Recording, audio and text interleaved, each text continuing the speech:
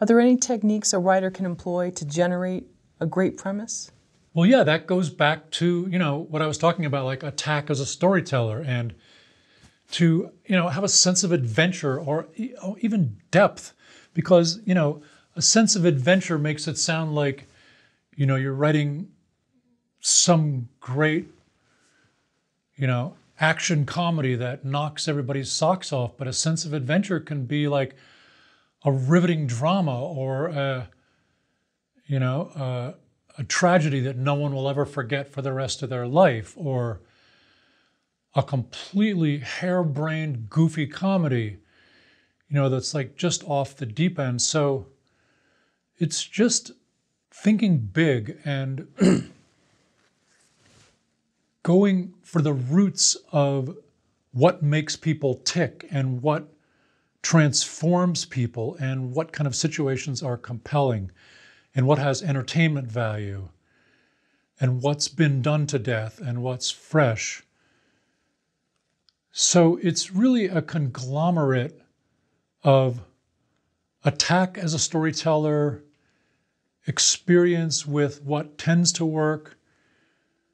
reading, constantly reading great scripts, and pushing the envelope, but also connecting with the average member of the audience. You know, one of the things I talk about in terms of dilemma, but it's applicable in many different arenas, is that once you get your story up and running and you've got something, you can go like, okay, here it is. And it, it can be dilemma or anything, but one of my fundamental questions is, okay, now that I've got this up and running, one of the things I want to do is, in my imagination, pick somebody that lives down the street who might be a plumber or an orthopedist or a CEO of a company and like, can they connect to this story? Because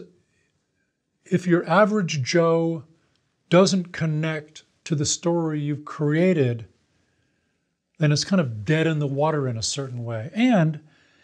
you know, one of the one of the key things, one of the intermediate steps in terms of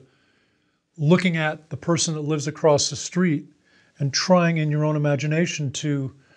say would they do they care about this is looking at the way in which how do you care about it and and in what way does it grab you and you may find, well, you know, actually, if this main character did this and this, I would care a whole lot more, actually. And, and being able to ground yourself more in the material, in the strength of the material, and the universality of the material, that can help you then look at the plumber down the street who's coming into the movies on a Saturday night with his family and expecting a fun ride or a riveting adventure and you know trying to make sure that your average joe can relate to it and care about it and so on. So that goes into it too. I hope that answers your question. It's not an easy question because it's different for every writer and there are definitely trip, tricks and tips to doing that but they're all just things that you pick up as you go along and incorporate into your process so that you have the storytelling chops to be thinking adventurously, no matter what the genre, and the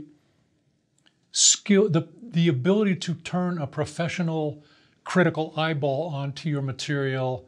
and go, you know, I had fun creating it and I think it's great, but it's not cutting it yet. So maybe it goes on the shelf or maybe you just throw it away.